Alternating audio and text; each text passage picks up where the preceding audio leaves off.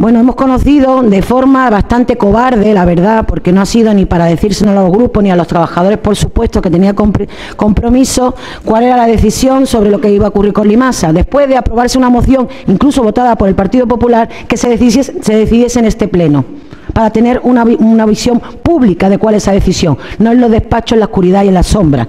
Porque entendemos que esta decisión es fruto o de la inutilidad, como ha dicho el propio señor Jiménez, o quizá de esos compromisos y esas deudas con las empresas privadas, o tal vez de las puertas giratorias también porque la verdad es que la forma no se entiende. Un, sistema que ya hemos visto que el que tenemos actual es malo, lo han dicho hasta el equipo de gobierno. Bueno, si creíamos que el peor imposible no existe, ya lo tenemos aquí delante.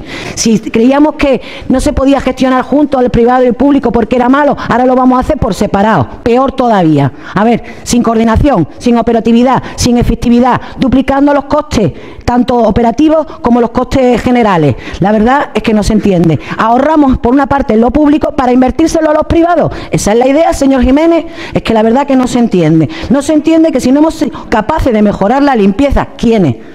Los públicos, los privados juntos, ahora se lo damos a un público y a otro privado que van a ser los mismos. Porque, señores, existe un cártel de la limpieza y ha sido sancionado también por la Comisión del Mercado, de la competencia. Y sabemos quiénes van a ser al final las empresas que se van a llevar ese macro contrato que va a dejar al ayuntamiento con dificultades para asumir luego eh, que, efectúen el cumplimiento. Porque luego retiramos, ya sabemos cuándo incumple, qué difícil es.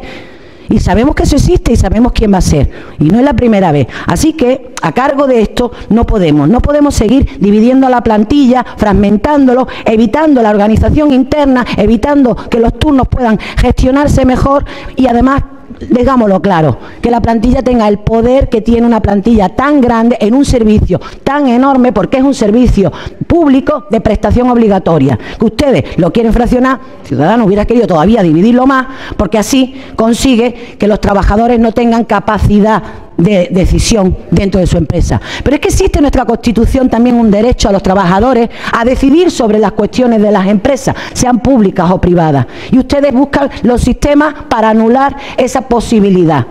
Donde hablamos de economía social, en la Constitución lo dice, ustedes quieren desocializarlo todo, desfragmentarlo todo. Ahora, eso sí, los costes a lo público, para que se los lleven los privados. En eso radica su política neoliberales. Oye, por lo menos sean neoliberales de verdad, pero no hipócritas. No digan que es que quieren lo privado, pero a costa de lo público, porque la verdad que resulta bastante vergonzoso. Resulta bastante vergonzoso. Nosotros no podemos aceptar este sistema. Si hubiera alguna justificación para que esa inversión imposible de realizar por el ayuntamiento la fueran a asumir los privados, podríamos pensar de qué manera. Pero es que se ha hecho todo al revés, el mundo al revés.